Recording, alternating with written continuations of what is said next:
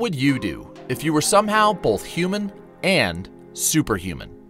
What if you could see through walls, dodge bullets, and bend steel with your bare hands, but still lose your life with one false move? Would it make a difference if the city you called home was well on its way to hell in a handbasket? These are the questions you'll answer in Cyberpunk 2077, the latest open world role playing experience from CD Projekt Red that's set to release on September 17th. But what about the game itself? How big will it be? How much freedom will you have? And what will combat be like? After poring over dozens of articles, interviews, and reports, these are just some of the questions I answer in my ultimate preview. If you're new to the channel, consider subscribing and stick around till the end of the video for a special $100 giveaway. But for now, I hope you'll join me as I look at everything we know about the world and the gameplay of Cyberpunk 2077.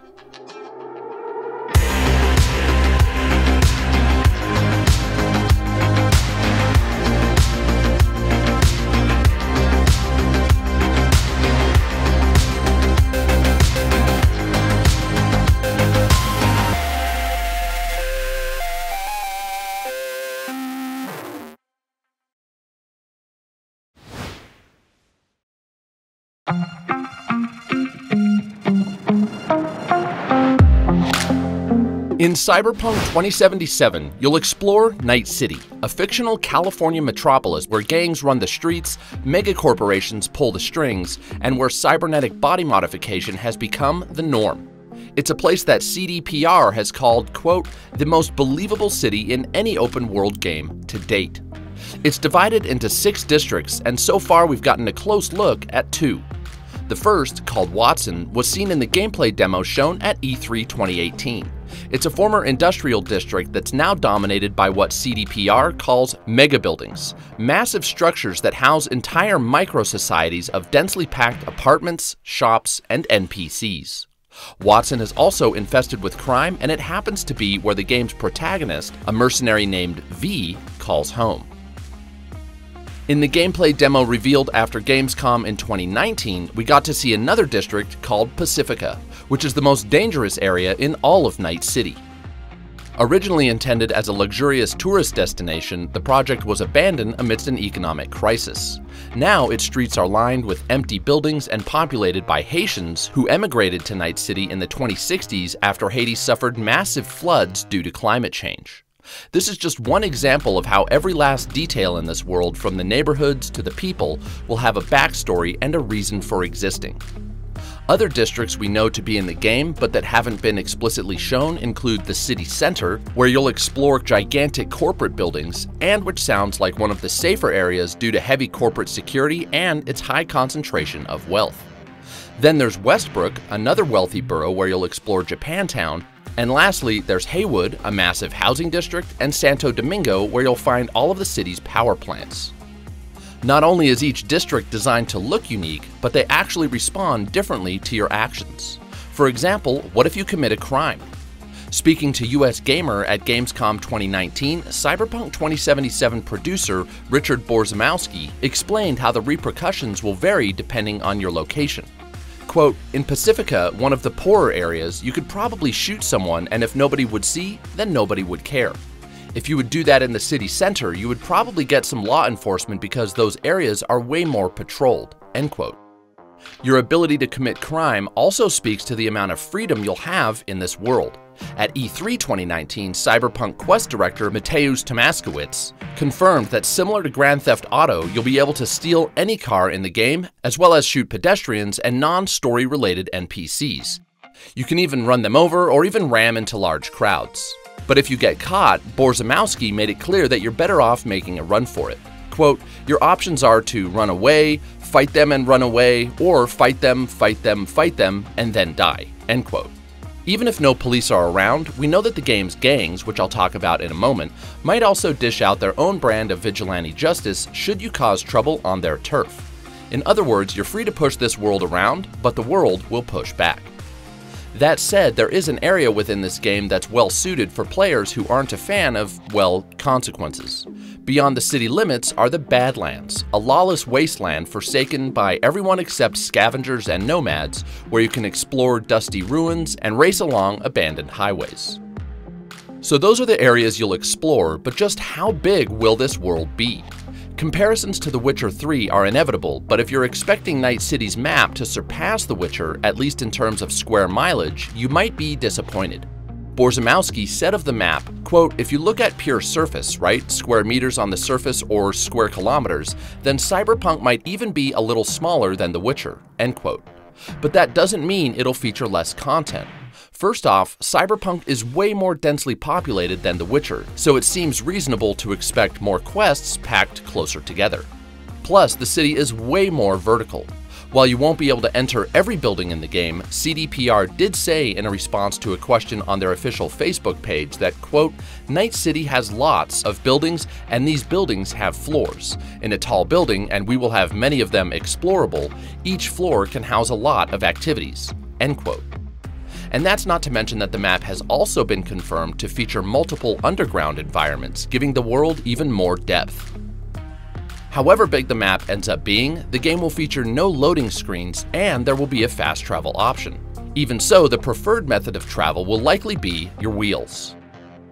The game will feature both cars and motorcycles, and we know that at least the cars will come in a range of different classes. You'll have utilitarian vehicles that are designed to get stuff done, luxury vehicles that are built for comfort and style, and armored vehicles that are good for vehicular combat.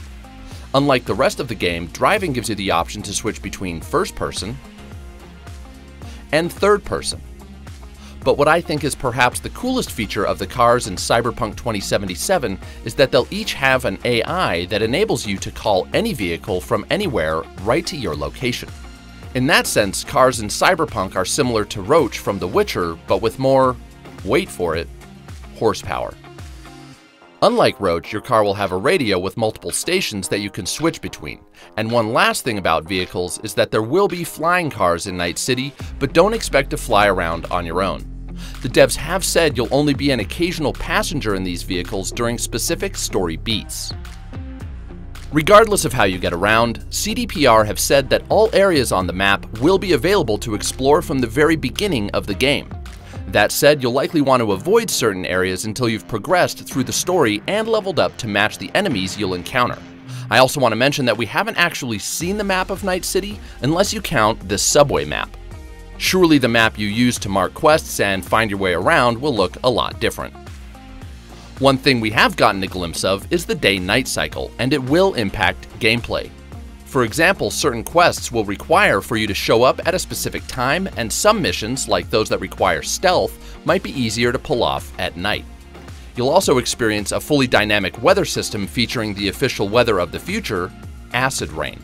However, I have not been able to find out how or even if acid rain will affect gameplay. But weather and time of day are just tiny aspects of what give Night City its texture and depth. It's the people that make it feel like a living, breathing metropolis. For starters, the crowd and community systems have been enhanced from those used in The Witcher 3. You'll see dozens of NPCs on your screen at any given time, and they'll all be going about their day in realistic ways. And then there's the spiderweb of factions you'll encounter throughout the world. Let's start by looking at the three gangs we've seen thus far. First are the Maelstromers, known for taking body modification to the extreme. As we'll get to later, body mods in Cyberpunk 2077 are called cyberware, and if you're wondering just how much cyberware the human body can handle before breaking down, well, take a look. And FYI, when it comes time to install your own cyberware, CDPR have said you won't be able to take things quite as far as these guys. Next are the Voodoo Boys, who lay claim to Pacifica and happen to be the best hackers in all of Night City. Lastly are the animals, who are at odds with the Voodoo Boys and who go to great lengths to enhance their physical strength through juicing, working out, and installing cyberware. If you find yourself in a scuffle with the animals, you better have some big guns or be a damn good melee fighter. They're also skilled in business, which helps them profit from the drug trade and illegal prize fights. But gangs aren't the only factions in Night City. There are also the far more powerful corporations.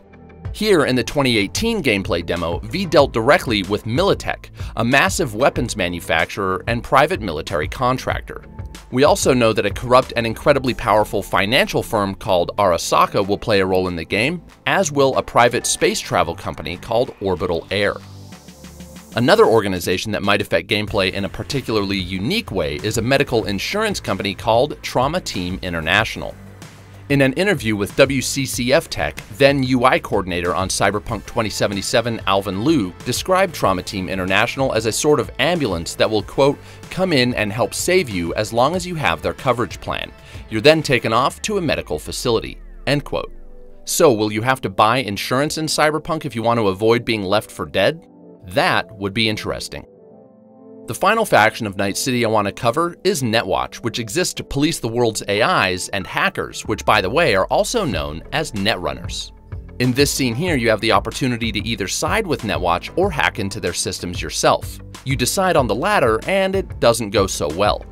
This is a good time to mention that while you'll be able to form alliances with certain gangs and organizations during specific missions, you won't be able to ever permanently join any gang, faction, or corporation. Getting back to Netwatch, one of their goals is to protect people from one of the more mysterious areas within cyberpunk called cyberspace. Cyberspace is a virtual expanse that you can visit, if you dare, by tapping in through a neural interface. According to CDPR, it's not only filled with malicious AIs, but nobody knows what happens there because nobody has ever come back alive, Netrunner or otherwise. That said, you'll likely be the first because V will go there as part of the game's story. And speaking of story, we don't know much, but there is one character who we know will be with you throughout the entire story, and that's Johnny Silverhand, played by none other than Keanu Reeves. Silverhand is an anti corporate rock star who died many years prior and now exists in V's mind as a quote, digital ghost, thanks to a chip that's been installed in your head. As for how Silverhand factors into gameplay, Tomaszkiewicz said in an interview at E3 2019 that you'll, quote, interact with him throughout the majority of the game and a lot of the plot revolves around him. He has a complicated relationship with V, and you can form this relationship in different ways based on how you play throughout the game. End quote. So it sounds like you'll be interacting with Silverhand's character quite a bit. But what about your character? Who will you be? Well, that's entirely up to you.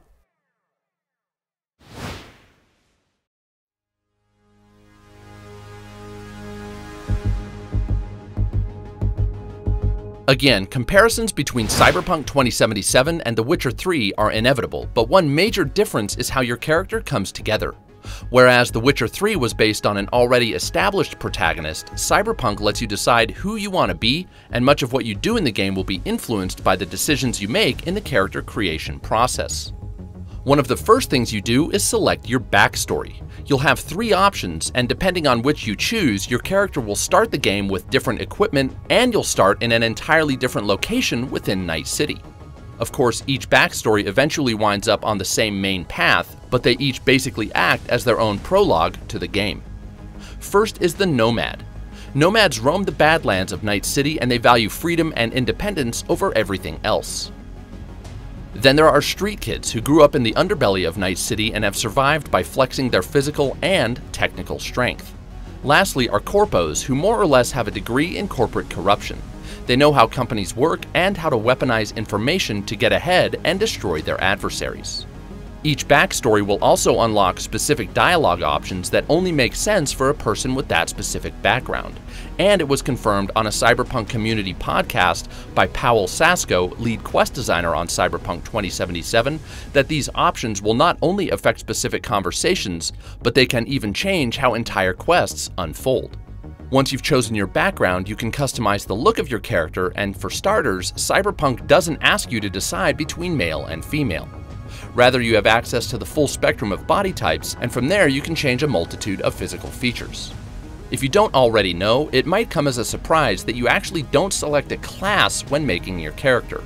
You instead choose your class during gameplay through what the developers call a fluid class system, which I'll cover in detail later in this video. Your job during the creation process is instead to determine how effective your character will be at using certain skills that appeal to you. To do that, you'll assign attribute points to specific attributes related to those skills. The attributes available to you are body, intelligence, reflexes, technical, and cool. I'm making some assumptions here, but it appears that the more points you pour into one single attribute, the more proficient you'll become at using its associated skills. Let's go down the list, and bear in mind that while some skills are self-explanatory, others haven't been explained at all. First is your body attribute, which is associated with four skills, melee, athletics, two-handed, and shotguns. Next is your intelligence attribute, which is associated with just one skill, hacking. Your reflexes attribute affects your proficiency with handguns, rifles, and blades, while your technical attribute increases your engineering skill, and lastly, the attribute ambiguously titled cool impacts your nerve skill as well as your ability to use sniper rifles and perform assassinations.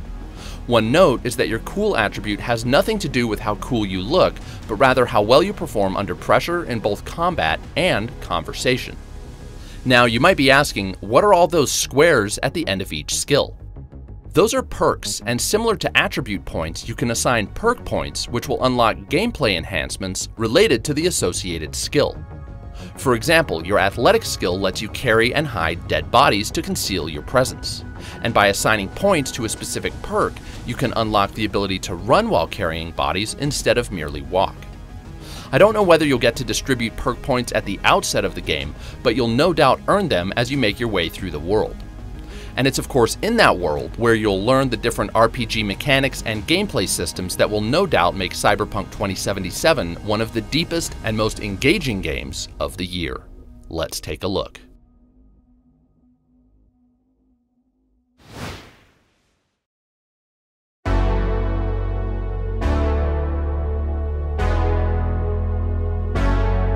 When Cyberpunk 2077 was first revealed, many gamers asked, would it be more of a first-person shooter than a true RPG?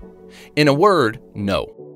As put by Sasko, Cyberpunk is quote, first and foremost an RPG where you play as V, a mercenary on the streets of Night City, a character that you can fully customize, picking life paths, picking skills and weapons, customizing the body of the character, and living the life in Night City. End quote. So let's look at the gameplay and storytelling systems that make this a true role-playing experience, starting with the branching story and quest lines. Going back to the scene with Militech, it's here that V meets with a Militech executive to arrange the acquisition of a piece of equipment from a rival gang. Right away, the dialogue options present your first choice. You can either lie or tell the truth. But you've been hacked through your neural socket, and the enemy can tell if you're being dishonest. That said, you still have options, and if you play your cards right, you'll get a boatload of cash to buy the requested merchandise. From there, you can either pocket the money for yourself or use it as requested. Steal it, and you'll have to acquire the equipment from the rival gang by force. Use the money as planned, and you'll be able to deal with them diplomatically. And that's just one fraction of the choices you can make in one mission. What about the decisions that affect the broader story? We saw how this could play out after you defeat a boss by the name of Sasquatch. After you fight her, CDPR says you can either take or spare her life. So, say you let her go.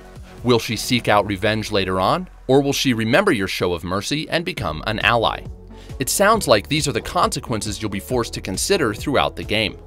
As explained by Philip Weber, senior quest designer on Cyberpunk 2077, quote, anything you do could possibly have an impact on the main story of the game.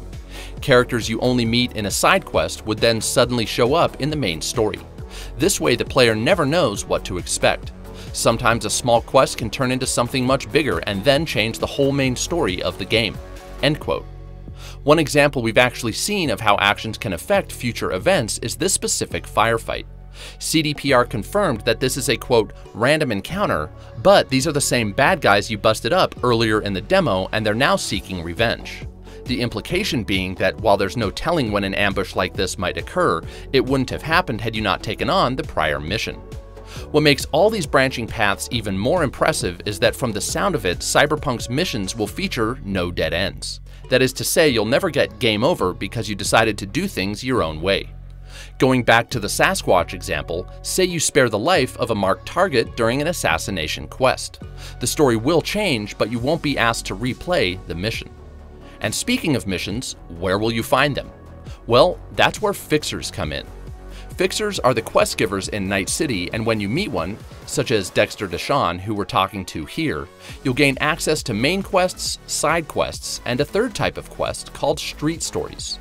From what I can tell, each will appear on your map, with main quests and side quests typically providing longer experiences, and street stories providing smaller, bite-sized bits of gameplay, perhaps unrelated to the main quest line. We've no idea how many main or side quests the game will feature, but in an interview with On MSFT, the head of CDPR's Krakow studio, John Mamais, said the game will have around 75 street stories and they'll serve as a way to explore the world and gain experience, of which Cyberpunk has two types. First is traditional XP, which you'll use to level up and presumably earn attribute points and perk points. The second form of experience is called Street Cred, which boosts your reputation in the world itself and unlocks new and better side missions, new cyberware upgrades, and new vendors throughout the world. Basically, the more street cred you earn, the more content you unlock. That said, boosting your street cred can have a downside. As outlined by Tomaszkiewicz, quote, the more recognizable you are, that actually might be a detriment in some missions. People will recognize you, and that's not always a good thing if you want to stay incognito.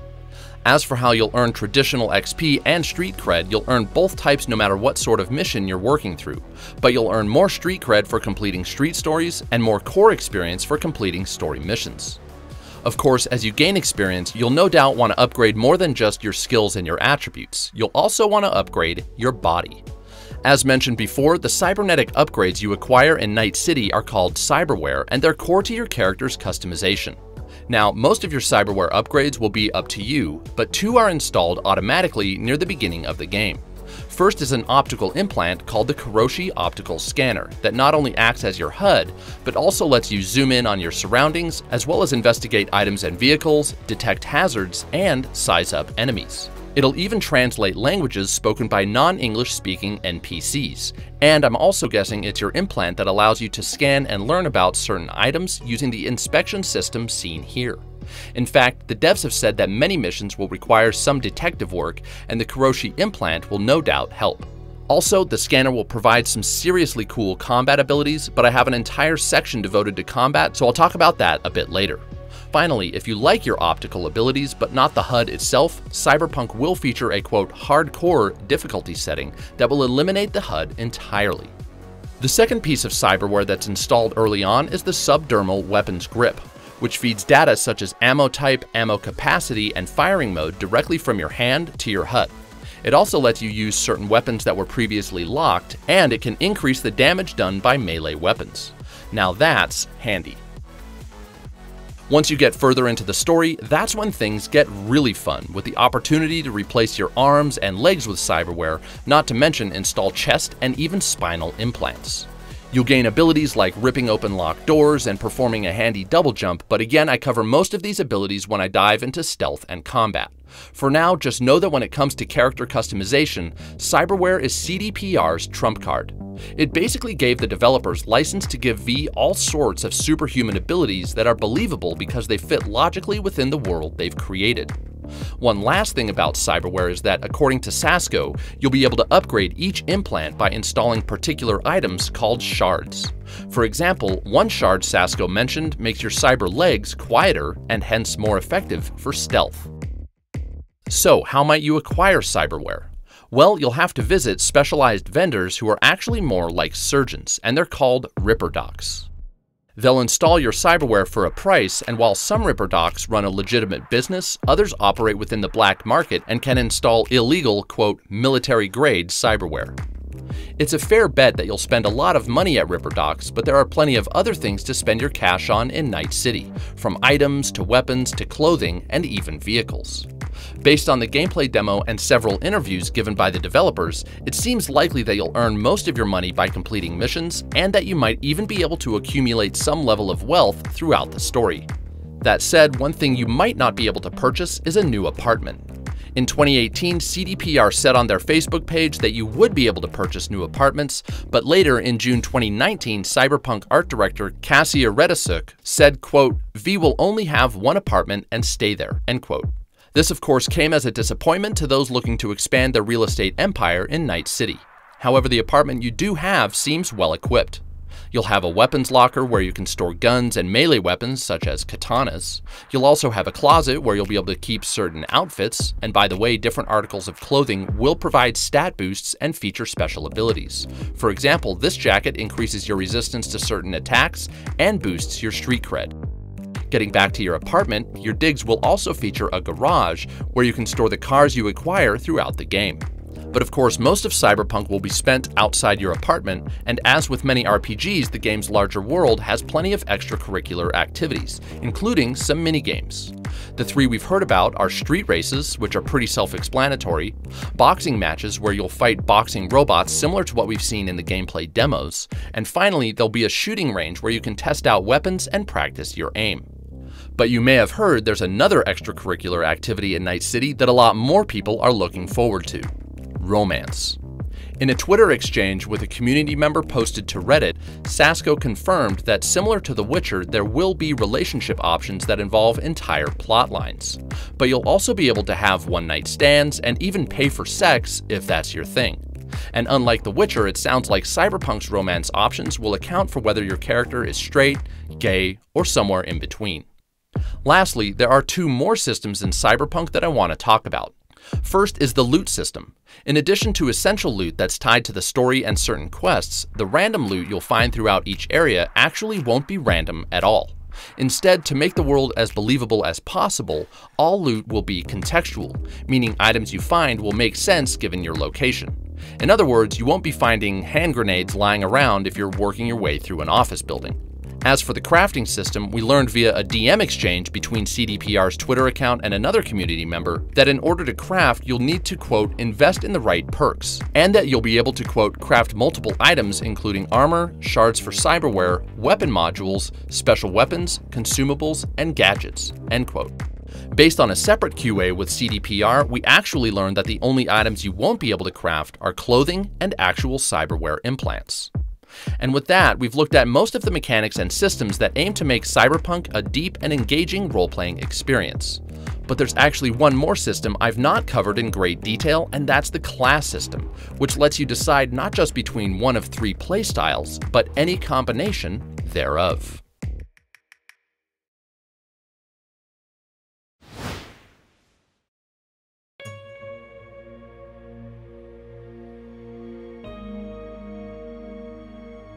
I mentioned previously that Cyberpunk 2077 never requires you to select a specific character class. In place of a rigid class system that permanently pigeonholes you into one build, the game features what the developers call a fluid class system. It features three distinct playstyles, one focused on fighting, called a solo, another focused on hacking, called a netrunner, and another focused on engineering, called a techie. I'm doing a little guesswork here, but it appears that of the attributes and skills that you allocate points towards in the character creation process, each one favors one of these three playstyles, and according to a Game Informer article, the more you use a specific skill, the more it will level up. In other words, the skills you use most determine the class or combination of classes you become. Still with me? Good. Let's now look at each class. First is the Solo class. This is for players who want to approach combat head-on, and it's actually broken into two subclasses. You've got the Strong Solo, who enhances their physical strength largely through the use of cyberware. Remember those arms that can bust open locked doors? They're actually called Gorilla Arms, and they're exactly the type of physical augment that suits a strong solo player.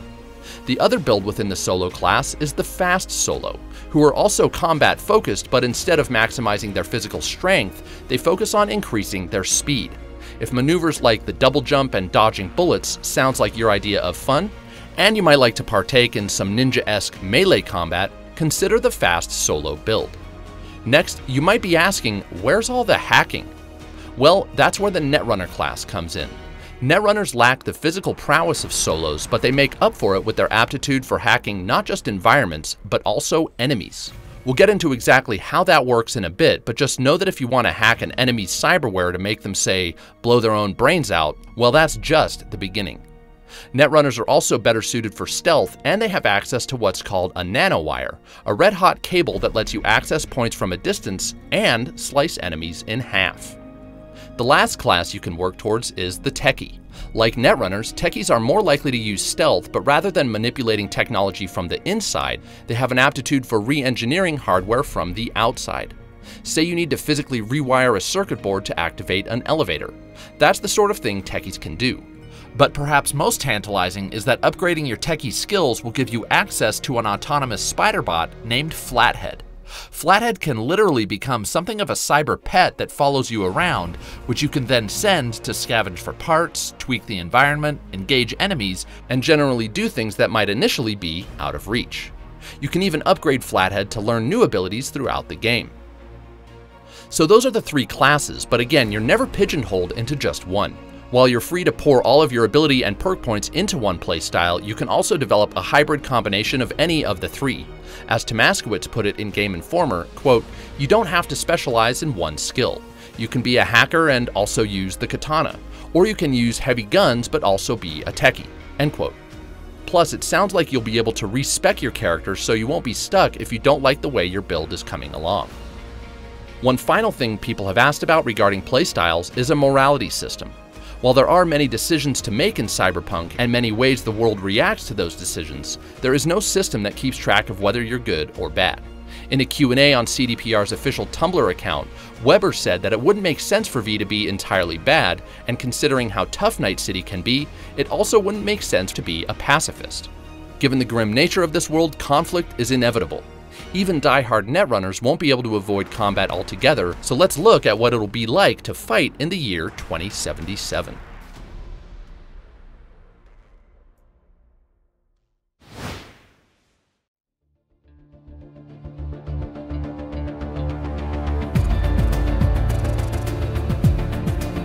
As I've already hinted, Cyberpunk will feature plenty of tools and abilities that will make you a more efficient killer, and it all starts with your Kiroshi optical scanner.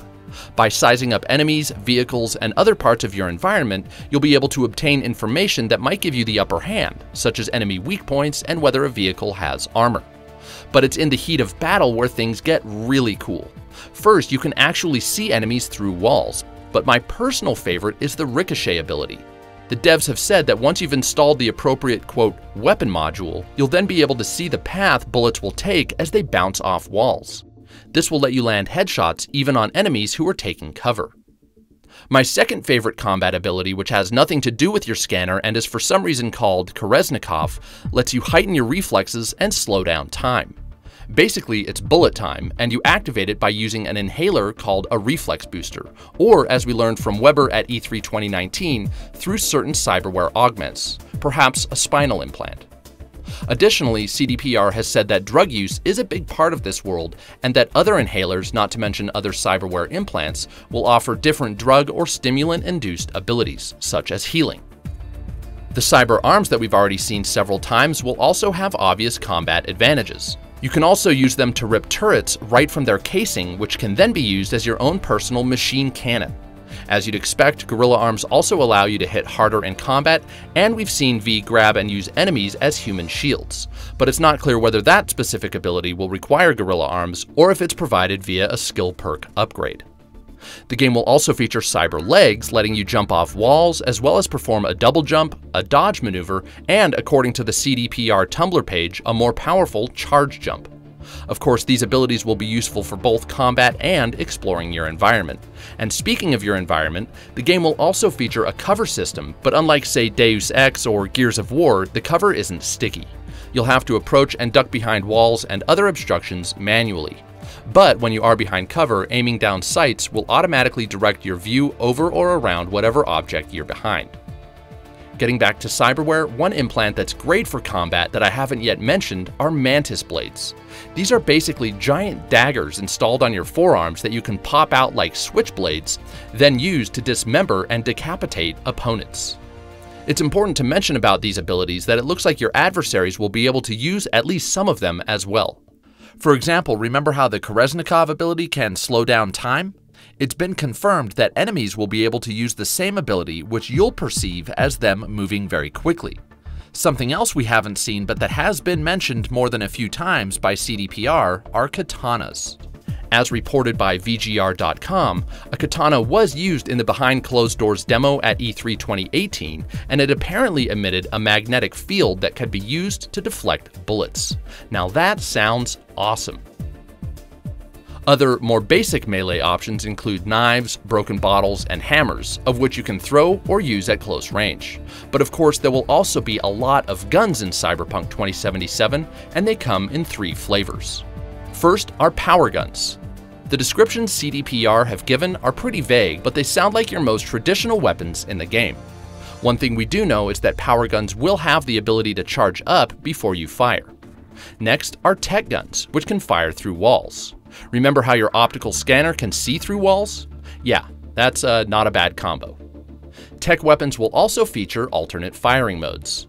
Some examples that CDPR have talked about include a gun that accelerates its rate of fire the longer you hold down the trigger, and a gun that fires superheated bullets that can melt through enemy cyberware. Oh, and while we're on the topic of guns that can pierce walls, it looks like environments in Night City will be at least partially destructible, making for even more dynamic firefights. Lastly are smart guns. One of CDPR's goals was to create combat that was challenging for experienced shooter fans, but also accessible to gamers who don't play many shooters at all. Enter smart guns, which will fire homing bullets. If you just want to hold down the trigger without aiming down sights, or well, aiming at all, these are the guns for you. One last gun we've heard described by CDPR is an 8 barreled shotgun that can fire all 8 shells at once, but we don't know if it's a power weapon or a tech weapon.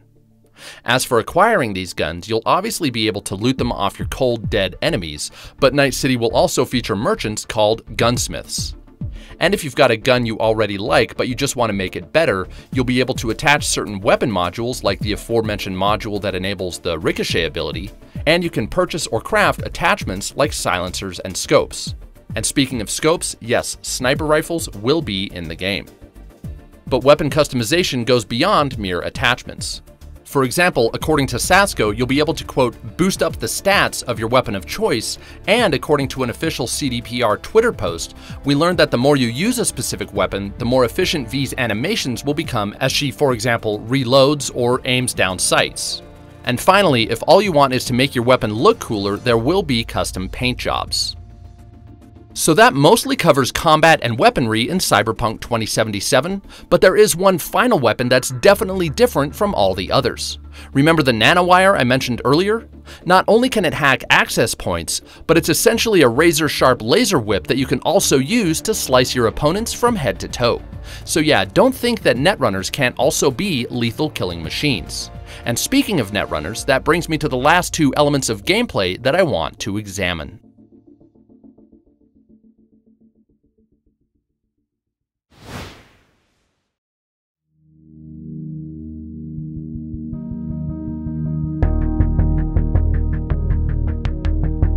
For those of you who don't gravitate towards either the strong or fast solo character builds, stealth, hacking, and manipulating technology through an implant called your Cyberdeck will likely be a much bigger part of your experience. Using what are called quick hacks, experienced netrunners will be able to hack devices, systems, and other parts of the environment, and they'll even be able to hack enemies themselves.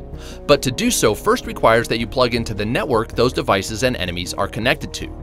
As CDPR puts it, quote, in the world of cyberpunk, once you're jacked into a network, you have access to everything it connects to, end quote. Based on all the research I've done, here's my best summary for how hacking will work. First, you need to find an access point. Once you're plugged in, you then see the interface for the hacking minigame, during which you're given a set of codes that you need to select in order to achieve your main hacking objective. In this scene, your main objective is to gain basic access to the network, and to achieve it, you have to select codes 1C and BD. To the right are a series of secondary codes that unlock certain quick hacks, such as hacking the camera log, which Weber seemed to confirm will let you shut down cameras or access their viewpoints. The other code, labeled Officer Tracing, is more of a mystery.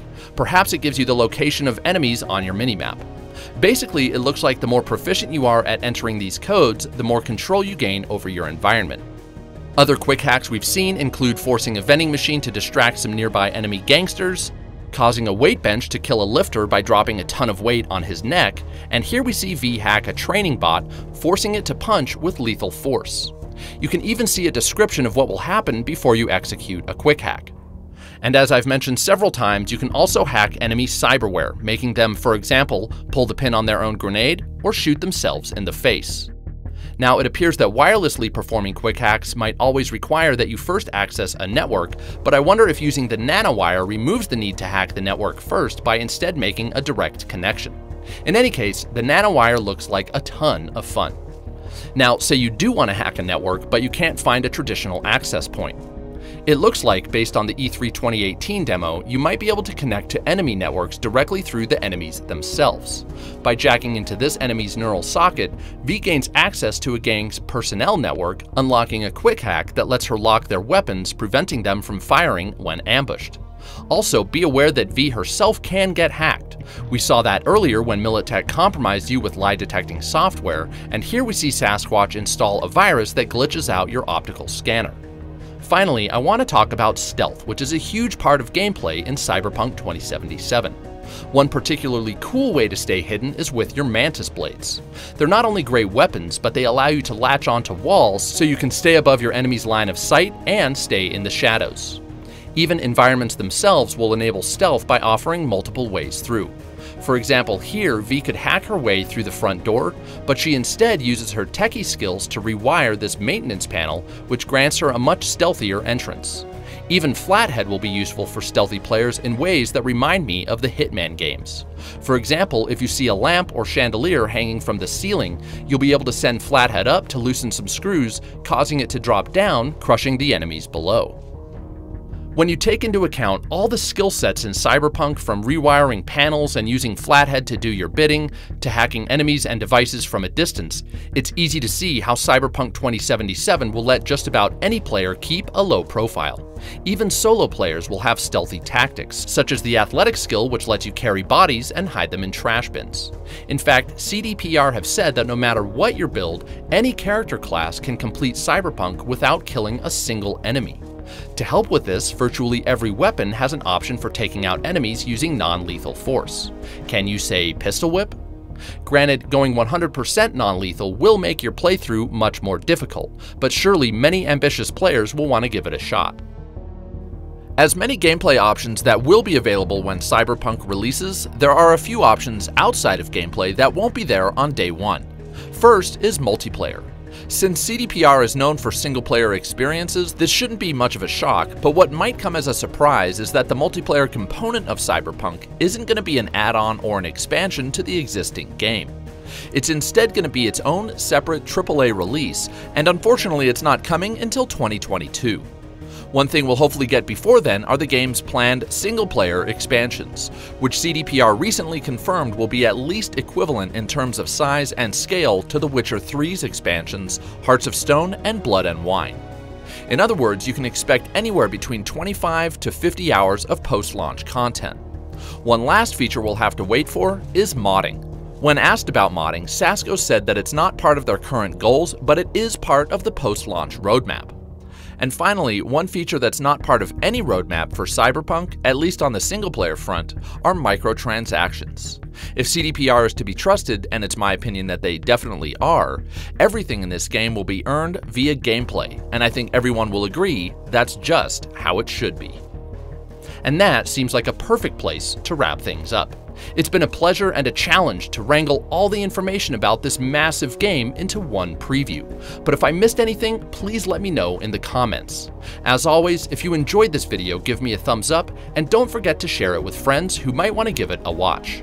Now, as I mentioned at the outset, click the giveaway link in the description below for a chance to win one of two $100 gift cards to either Amazon, PlayStation, Nintendo, Xbox, or Steam. If you're not into giveaways but you still want to support me, or you just want to keep up with what I'm playing, you can follow me on Twitter and Instagram.